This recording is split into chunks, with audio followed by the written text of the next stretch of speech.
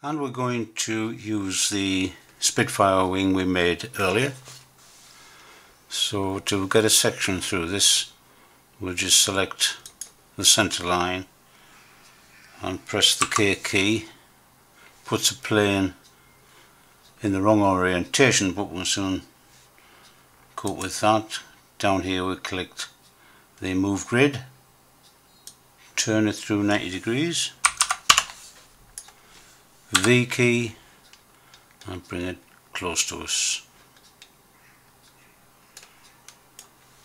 Now using this section we're going to make our spline profile to model our wing spar. Before we do the clever bit we need to make a new spline profile for this section. Spline tool, start back here and we don't need to be accurate for the demonstration.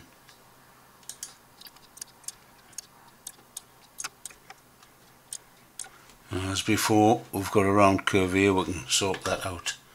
Select tool, select our spline, and then manipulate these handles.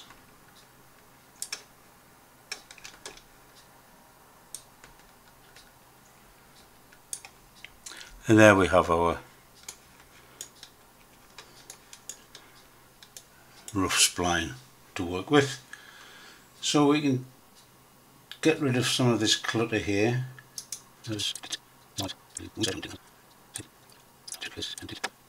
Now we've got various things here. We've got a, this. This is the one we really only need is the spline. So we've only got the picture. We don't really need it, but. Uh, We'll leave that on, I don't think that will bother us. So here we have our spline to work with. Now what we need in this spline are some notches around the, the spline curve for the stringers that need to be put in for the wing. Now I know that I would want one stringer to be right on the leading edge of the wing. So that's where I'm going to put the first uh, notch in the spline right at this point here. Now I'm going to mark our center point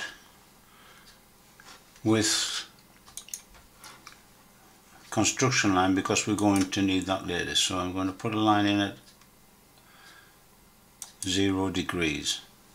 So now to put our rectangle we choose the three point rectangle. We're going to hold down the alt key and then click on the line so the line is highlighted. It our dimensions now especially the angles which we want will be referenced according to this line we've got highlighted now. So we'll run along to point where we want. Make sure you don't go further and highlight the, the spline because then it will reference it to the spline. So we want to reference it to the horizontal line. Click and drag and now our, our line here should be vertical with the dotted line. So if we click and move out, yes we see that the rectangle is lines up with the grid which is good. So now we can click and we can change the dimensions. One millimeter tab. One millimeter return. So we've got a rectangle the size we want in the orientation we want but not where we want it. So we're going to select the move tool then move this rectangle up to the line and move it out so that just pokes through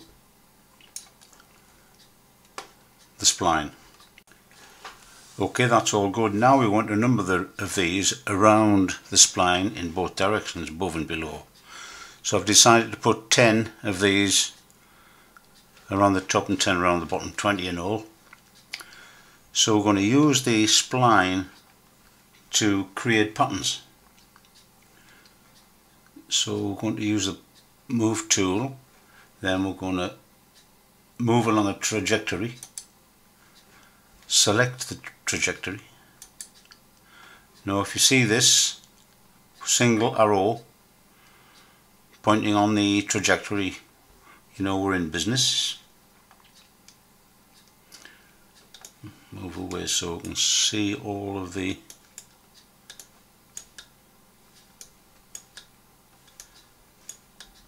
There we are.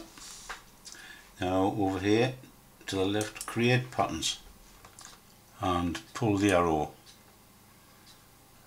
And now we'll pull it along to where we think now you see it's it's jumped up to the top one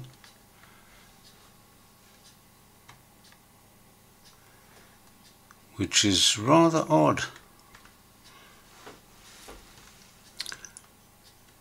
so that's too far because if you've got a notch below it it's going to cut off that tail part. So we'll stop it about there. Release. Or a count of two in here. Change that to 10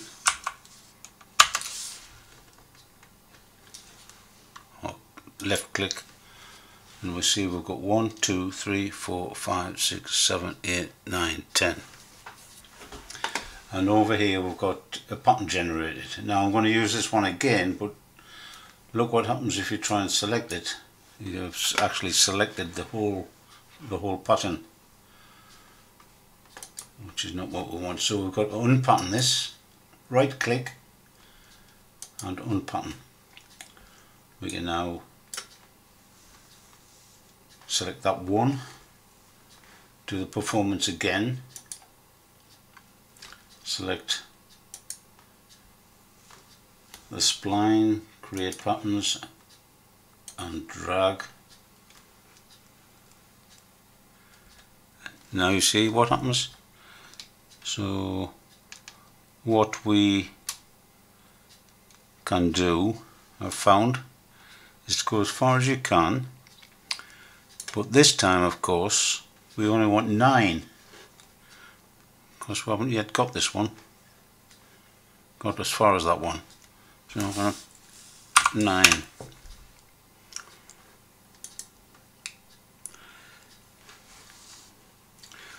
and again we're going to have to unpattern because we want to copy this one here on the spline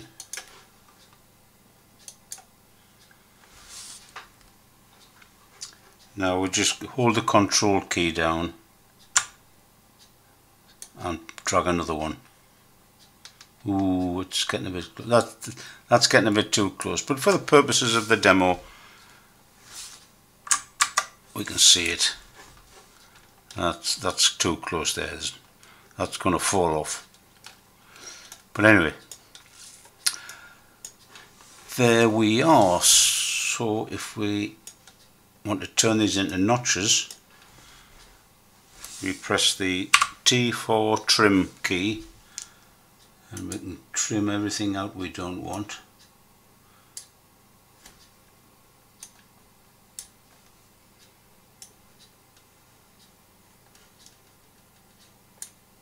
Ah, Control Z.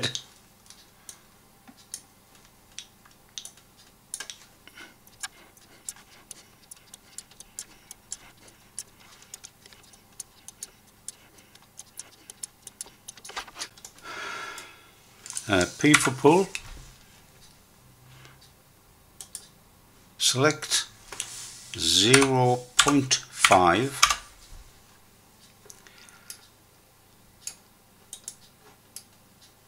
and there we have a wing section or rib if you will for our wing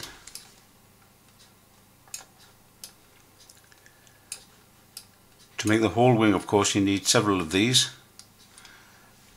Of course the when it tapers up towards the tip of the wing uh, there's going to be less space here to put the notches so you'll have to maybe cut down the number of notches you'll have to maybe eliminate every other one and continue the notches from there to the tip. Anyway that's another problem. That, that might be another another video. So there it is. How to convert your wing into sections for the wing ribs. Hope you enjoyed that. Hope it's useful and I'll see you again very soon. Bye